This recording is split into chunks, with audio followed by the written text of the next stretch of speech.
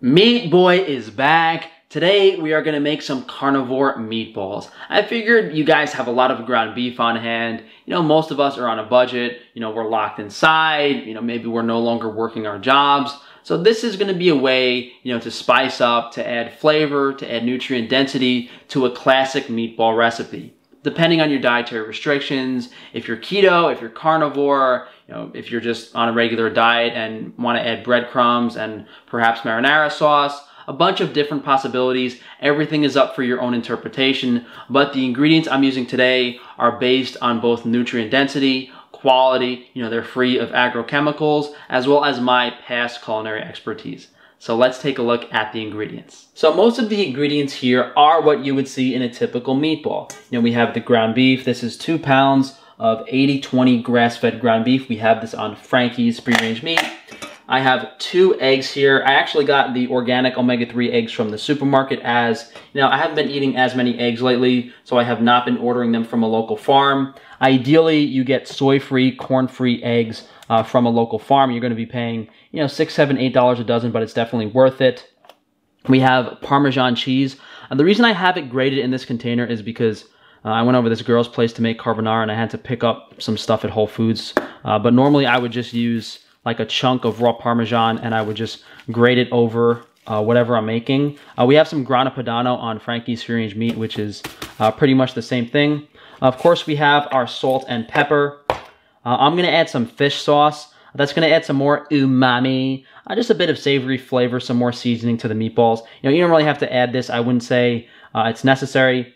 And of course, we have the Italian seasoning. Now, this is actually all-purpose seasoning, but all-purpose seasoning pretty much has the same ingredients as Italian seasoning. So, you know, get some organic Italian seasoning, organic all-purpose seasoning. Uh, if you don't want to add this, if you're really, really strict carnivore, you don't have to, but this is what's going to make the difference. This is going to add that classic, typical flavor. Uh, if you're not as strict on your diet, uh, what I would do is, you know, dice up some organic onions, uh, some garlic, and parsley, and put that in here instead of this Italian seasoning. And one thing I like to add that people don't usually add is butter. I'm going to add a couple tablespoons of butter to the actual meatballs just to add that really delicious butter flavor. And sometimes you guys might see people use pork rinds as a breadcrumb substitute, but I honestly think organic breadcrumbs are healthier for you than, you know, high omega-6, you know, pork dust. So, you know, if you really do want to add that to the meatballs, just use the highest quality breadcrumbs you can find you know, unless you're nuts and you're making your own, you know, pork rinds from pasture-raised pork. There might be one guy on the planet doing that. So we're basically going to combine all this stuff together. I'm going to add the pepper to the eggs. A lot of pepper because, you know, we're seasoning two pounds of meat. I'm not going to add too much salt.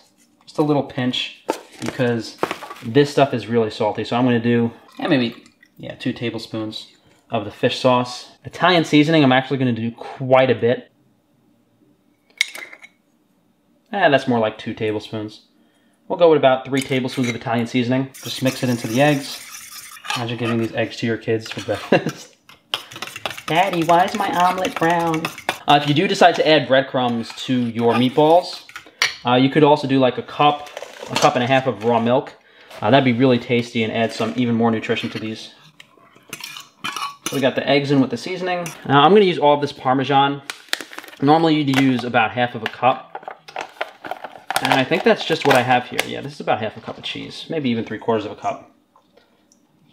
Uh, so you can use Pecorino Romano. Uh, Parmesan I like a little more. The Pecorino Romano is really salty, a little more barnyardy. And this is my little secret, as I said. You get a really high quality butter. This is a French butter. I bought this one because it was on sale. Uh, you know, normally I would use raw butter from a local farm. So we'll do maybe, you know, that's about three tablespoons of butter. You don't want to put too much butter in this because it's just going to render out and melt. And, you know, these might fall apart in the pan if you put too much. But the butter, the butter was at room temperature, so I can mix it in really easily. You know, you don't want to, you don't really want to melt it because if you melt the butter, you'll separate, you know, the milk proteins from the fats. And if it's cold, it's going to be, you know, hard to incorporate. You know, it would be bomb if you made like tartar meatballs with butter in them. Oh my god. Like like just take like a ball of meat like this, put, put some raw butter inside and bite it. Oh my god, that would taste better than the, than the cooked meatballs. But I'm making these for my sister, so if you, uh, any of you raw tards watching, there's your raw tard recipe. you know I love you guys. It's okay. It's okay to be a raw tard. Now we're just gonna make meatballs, you know, depending on what type of recipe you're doing, we'll dictate the size. I'm gonna do, you know, moderate size stuff. This mix smelled so good I wanted to try it raw. That's really, really good. Really tasty. You could actually add a bit more salt to that. They're not seasoned enough, but it'll be fine because we can just add more salt later. Uh, so what I did was, you know, just six, you know, moderately sized meatballs. I mean, I guess these are pretty big. And I'm gonna bake these in the oven. Uh, mainly because pan searing these, you know, it's a lot more work. It's a pain. A lot more of the fat renders out.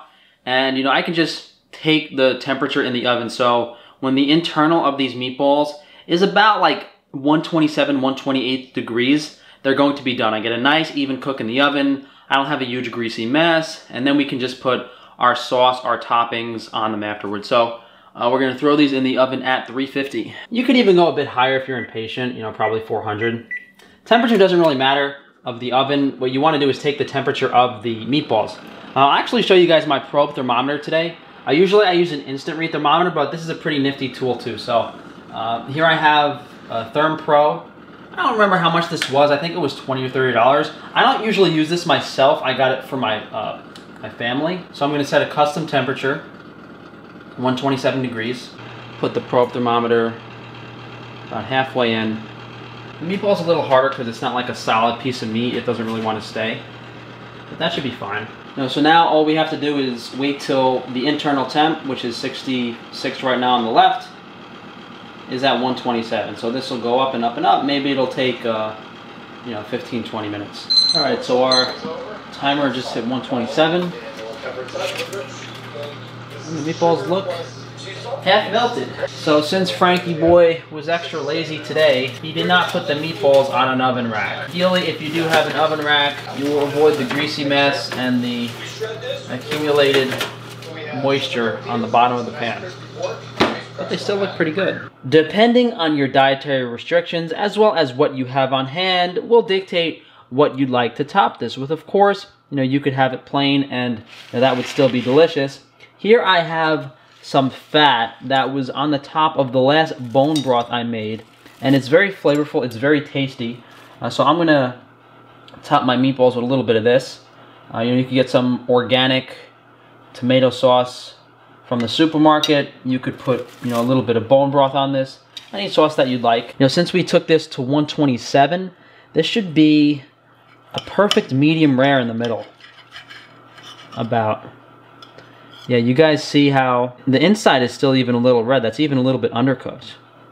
But it looks really good. So let's give these taste. That's really slamming. Guys, you will not get bored of this. Oh my god. Since we took it to that perfect temperature, doesn't really need breadcrumbs, doesn't need anything to add texture. Make this for your kids, they'll love it. Oh my god. The Italian seasoning, plus the parm, nothing really stands out too much. Very balanced, very complex, very well seasoned. Guys, the raw meat tasted good, but this is way better. this is really good. So I hope you guys try this. I'm sure my sister's gonna love these for dinner over the next few days. If you guys would like to support me, just you know drop a like on the video, leave Frankie Boy a comment down below. There's also a bunch of stuff you can check out in the description, including Frankie's Free Range Meat. Thanks for joining me, guys. Enjoy your Saturday. We're going to do the live stream later at 2 p.m. Eastern Time on Frank Tufano. I'll link that in the description.